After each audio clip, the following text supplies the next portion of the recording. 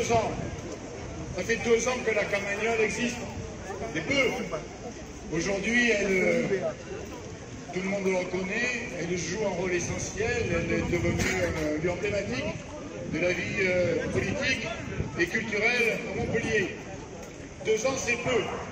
Deux ans, c'est peu pour jouer le rôle qui lui était assigné, c'est-à-dire d'être un lieu de revendiquer, de combat politique, disons le clairement, un lieu de, point d'appui pour toutes les mobilisations écologiques et sociales un point d'appui très engagé aussi de soutien à tous les exclus, ici et d'ailleurs.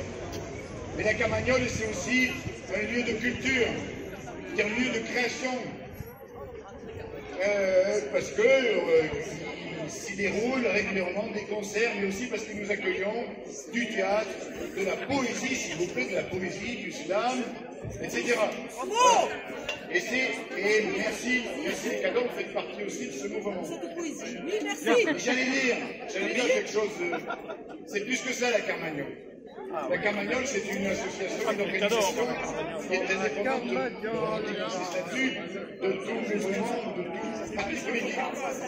C'est clair Et donc c'est un lieu de rencontre, de débat, au passage, au passage. Au passage, je dis que la vocation de la Carmagnole, c'est pas d'intervenir euh, dans les, comment dans la campagne électorale, dans les campagnes électorales.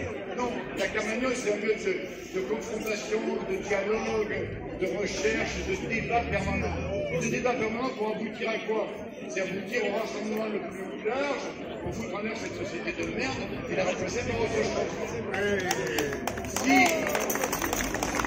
autre chose, c'est-à-dire c'est-à-dire, euh, qui sortent de cette logique du fric, du capital, et qui soit une société fraternelle. Voilà, on, on veut pour reprendre euh, une expression qui est, qui est, c'est un peu notre fondateur ici, on veut du soleil, on a besoin de soleil. Ouais. On est du soleil. Pas trop non plus. Euh, Oui, pas trop. J'ai envie de dire euh, très vite, très vite prochain. Il pourrait convenir, pour ces deux ans de la Carmagnole, il pourrait convenir qu'on formule trois vœux. Vous êtes d'accord Le premier c'est de, franchement, c'est de permettre à la Carmagnole d'être plus solide, d'avoir de- des, des moyens militants supérieurs à ceux qui sont les siens. C'est une aventure merveilleuse, certes formidable, certes, il se passe tous les soirs quelque chose à la Carmagnole, quasiment, et en permanence. Et là, nous, nous sommes en difficulté. Je dis nous, parce que je m'exprime au nom du collectif des, des- des coopérateurs. Nous avons besoin de plus de coopérateurs. Nous avons besoin, absolument besoin, d'être soutenus de manière militante, davantage que nous ne le sommes, matériellement, de manière militante, économiquement. Donc je lance, je vraiment, écoutez-moi, écoutez-moi, regardez-moi, je lance un appel présent à tous ceux qui sont ici pour leur dire, s'il vous plaît, rejoignez-nous. Il faut absolument que cette, cette, cette carmagnole devienne plus, forte encore qu'elle ne l'est. Voilà. Donc, deuxième. Encore, faites. Deuxième, deuxième vœu qu'on pourrait ensemble formuler. Je vous le dis, je vous le dis simplement. La Carmagnole accueille depuis le début des associations impliquées dans la lutte pour l'écologie et pour la protection de l'environnement. Greenpeace, les marches pour le climat, euh, zéro déchet, Alternativa, etc. Je le dis très simplement, aujourd'hui, ça ne suffit pas. Le vœu qu'on puisse formuler, qu'il faut formuler à la Carmagnole, c'est de rassembler ces forces-là pour aborder, aborder et aborder de, de- aborder de front, de manière mobilisée, l'ensemble des défis qui sont devant nous en termes de défense de l'écologie et de l'environnement. L'écologie est devenue, c'est la propriété de personne, c'est la propriété de tous. Et c'est en particulier l'engagement de la Carmagnole de se battre sur les mobilisations à venir écologiques D'autant qu'après l'échec de Madrid, euh, Madrid Cap, euh, COP 25, je sais plus quoi, euh, c'est c'est lamentable. Mais il faut se battre évidemment pour les générations qui suivent. Il faut se battre pour, parce que, parce que les, les enjeux sont monumentaux, ce sont ceux de l'espèce, de, de- de l'humanité. Et se battre euh, en général pour l'écologie, mais se battre aussi ici, parce que Montpellier a besoin d'écologie en grand.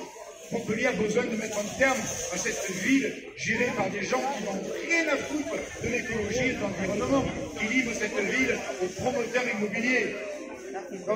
Oui, écologie, je le dis au passage, Clotilde, ton, ton combat est le nôtre. Troisième, troisième vœu, troisième vœu, troisième vœu que je formule, parce que sans ça, le deuxième n'a pas de sens. Le troisième vœu, c'est aller vers une organisation sociale plus forte encore. Nous vivons une période particulière. Nous vivons une période où l'ensemble des forces syndicales se retrouveront mardi pour une manifestation doit être une manifestation d'ampleur. Je le dis, la Carmagnole a été la base arrière et la base avant des Gilets jaunes. Les Gilets jaunes nous ont montré la voie.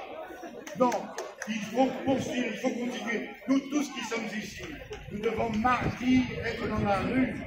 Nous devons, dans les semaines qui suivent, être à côté de tous les, grévistes qui reconduisent des, des, grèves et qui se battent pas seulement pour eux, mais pour nous aussi. Donc, c'est un appel, un appel à la résistance, un appel au combat. Je le lance au nom de la Carmagnole, tous ensemble, en avant